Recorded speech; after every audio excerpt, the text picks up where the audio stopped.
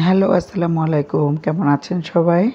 চলে আসলাম আর একটা ভিডিও নিয়ে। খুব মজার একটা সেমাই রান্না করব। খুব সহজে একদম ঘরে থাকা উপকরণ দিয়ে শর্টকাট কীভাবে আপনারা এত মজার একটা সেমাই রান্না কর- করবেন, এটাই আমি আজকে আপনাদের সাথে শেয়ার করব।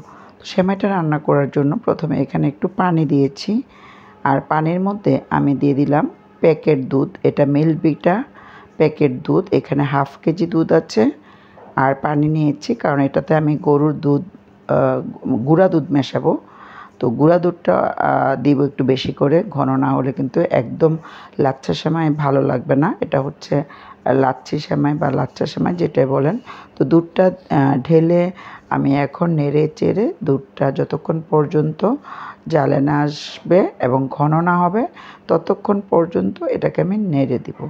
তো এখানে লাচ্ছা সেমাইয়ের একটা প্যাকেট নিয়েছি আমি। প্যাকেটটা খোলা হয়নি। তো এটা আমি আজকে এটা খুলে তারপরে এই সেমাইটাই রান্না করব। এটা ঘিয়ে ভাজা সেমাই। তো এটা রান্না করব। খুব বেশি পছন্দ করি আমরা সেমাই। তো শর্টকাটে আপনাদেরকে দেখিয়ে দিচ্ছি। আপনারা বাসায় অবশ্যই ট্রাই করবেন। এখনও যারা আমার ভিডিওতে একটা লাইক দেননি, অবশ্যই একটা লাইক দিয়ে ভিডিওটা কন্টিনিউ করবেন। আর নতুন হয়ে থাকলে আমার চ্যানেলটা অবশ্যই সাবস্ক্রাইব করে পাশে থাকা বেল আইকনটা অলে ক্লিক করে রাখবেন। তো দুধটা যতক্ষণ পর্যন্ত ফুটে না উঠবে এবং ঘন না হয়ে আসবে, ততক্ষণ পর্যন্ত আমি নেড়ে চেড়ে দিচ্ছি বারবার যেন তলাতে লেগে না যায়।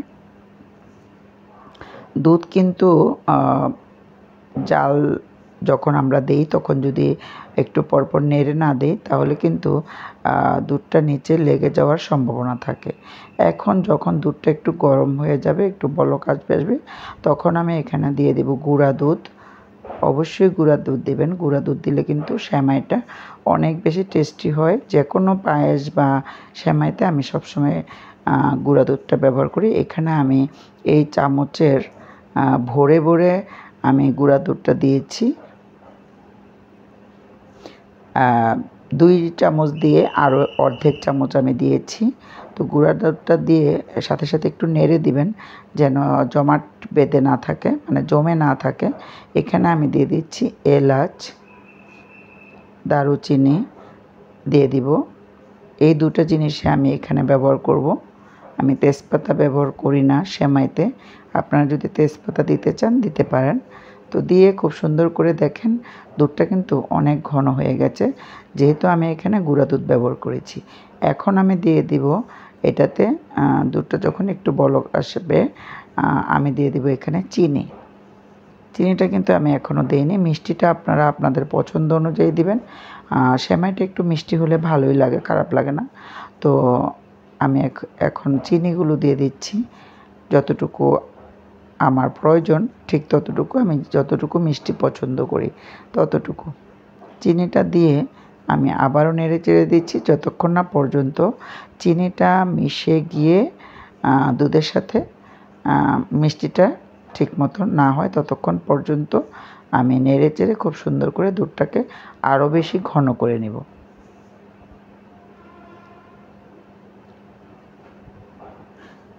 দুধটা ঘন হয়ে গেলে এটাকে আমি ঠান্ডা করব, নামিয়ে। ঠান্ডা করে চলে আসছি। আমি সেমাইটা একটা বাটিতে নিব। অবশ্যই দুধটা ঠান্ডা করে সেমাইয়ের মধ্যে ঢালবেন। এটা কিন্তু একটা টিপস আপনাদেরকে দিয়ে দিলাম। কারণ এই সেমাইয়ের মধ্যে যদি আপনি সাথে সাথে দুধটা ঢেলে দেন, তাহলে কিন্তু সেমাইটা একদম ভর্তা হয়ে যাবে, একদম নরম হয়ে যাবে। সেটা আর সেমাই থাকবে না। পায়েস পায়েসের থেকেও খারাপ হয়ে যাবে। অনেকেই বলে সেমাই রান্না করতে পারে না। অনেকেই টেনশন করে সেমাইটা একদম মাখা মাখা হয়ে যায় খুব ইয়ে হয়ে যায়। এটা আপনারা সবসময় খেয়াল করবেন। আহ, সেমাইটা আলাদা করে বাটিতে নিয়ে তারপরে সাজিয়ে তারপরে দুধটা একটু ঠান্ডা করে তারপরে আপনারা বাটিতে দুধ ডালবেন। তাহলে কিন্তু সেমাইটা অনেক সুন্দর থাকবে আর আস্তে আস্তে থাকবে। বেশি নরম হবে না।